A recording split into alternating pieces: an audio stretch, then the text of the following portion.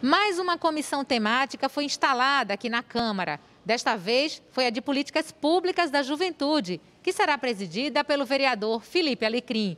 Veja como foi o encontro.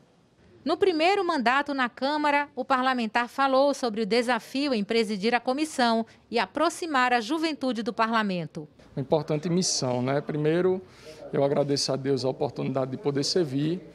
Vou precisar também contar com a experiência de alguns vereadores que já são veteranos nessa casa para que a gente possa se dedicar à juventude, trazer a juventude para o debate, promover audiências públicas, dialogar para que a gente possa proporcionar leis e projetos, trabalhar por leis e projetos que auxiliem na caminhada dessa juventude da cidade de Recife.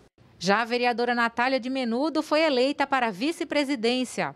Estar na comissão de juventude hoje como vice-presidente e eu sei que ao lado do presidente Felipe Alecrim e os demais vereadores iremos fazer um bom trabalho aqui dentro. Eu sei né, que uma das pautas do meu mandato é a juventude, porque eu entendo a importância da juventude dentro da Casa José Mariano, promovermos debates, né, ouvir os jovens, interagir com os jovens, então estarei à disposição. Participou ainda do encontro o vereador Rinaldo Júnior, que é suplente da comissão.